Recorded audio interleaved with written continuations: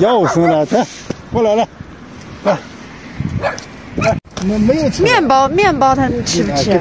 吃不吃了？吃了，两个的给，草子高子，哎，对了，哎呀，看那个小的，小的喂它点儿，喂了，那个最小的那个，两个喂了两个，就那个小不点儿。啊，喂了一一个，来。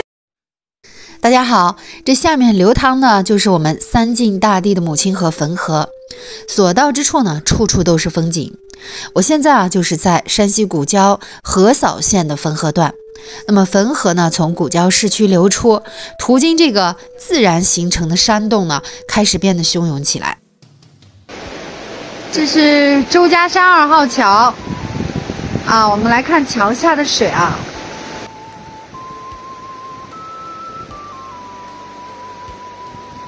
大家看这个水流也是比较急的，而且水呢很清澈。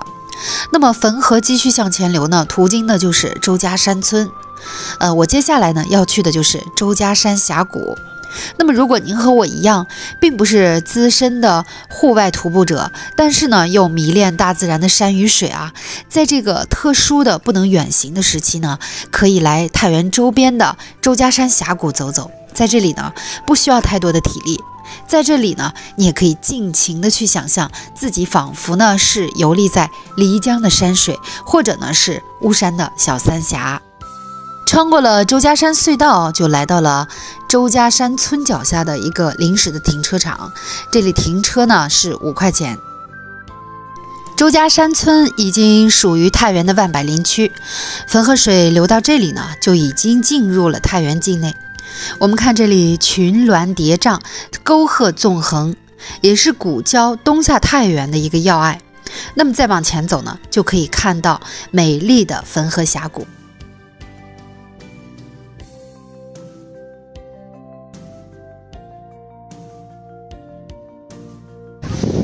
哎，上面就是周家山村，对面那个山崖上呢就是周家山村啊。周家山村呢。其实，在二零一三年就已经全部的搬迁了，呃，因为那个上面就是说交通非常的不便利，呃，对村民来说呢，就是生活非常的不便，吃水难，就业难，上学难，呃，俗称三难。三月的汾河峡谷里面呢，还是比较寒冷的，但是呢，依然看到有游人带着食材来这边野炊。这一段汾河其实是古交市和太原万柏林区的界河。如果我们看太原地图，会发现汾河在流出古交、流进太原市区之前呢，会拐好几个弯儿。那么汾河为何不走直线呢？来到这里，亲眼看到这连绵起伏的山崖，我们会想起“蜀江春水拍山流”的诗句，答案呢也就不言而喻了。这大概呢，就是老子所说的水文化。水之道便是自然之道，天地之道，如水般行走人间，才是顺应宇宙之大道。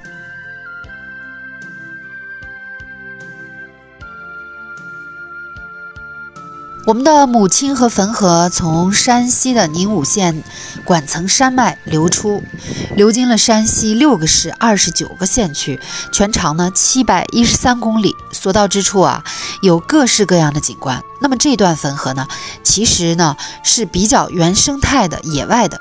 以前呢，也只有一些户外的驴友呢才会到这里。但是现在呢，汾河沿岸进行了治理，而且呢修了观光路段。让更多的人呢可以轻松的走进来，来欣赏这里原生态的汾河峡谷。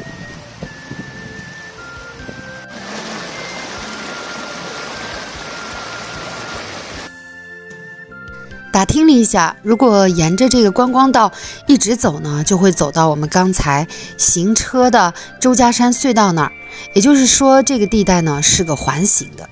但是我们没有继续往前走，而是从对面公路上呢返回停车的地方。从公路上走呢，就是从另一个视角来欣赏一下汾河峡谷。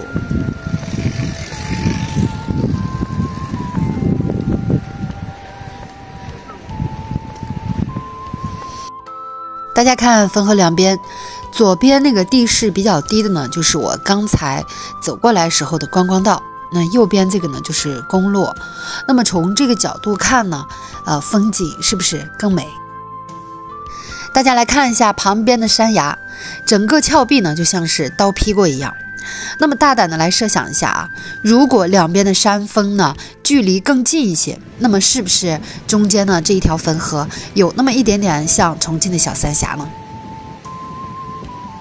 看这边，这是一个水泵，一直是泵到这个原先山上面是周家山村嘛，现在周家山村的村民不是已经搬走了，然后这个水泵还在，还遗留在这儿。不知道现在还使不使用？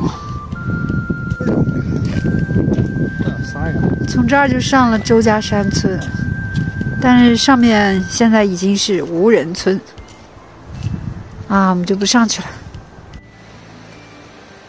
七百多年前呢，十六岁的元好问就是在汾河边儿写下了千古名句：“问世间情为何物，直叫人生死相许。”此刻走在周家山汾河峡谷，看汾河水曲折蜿蜒，奔腾不息，不禁感慨，就是这条河流滋养了我们美丽的三晋大地。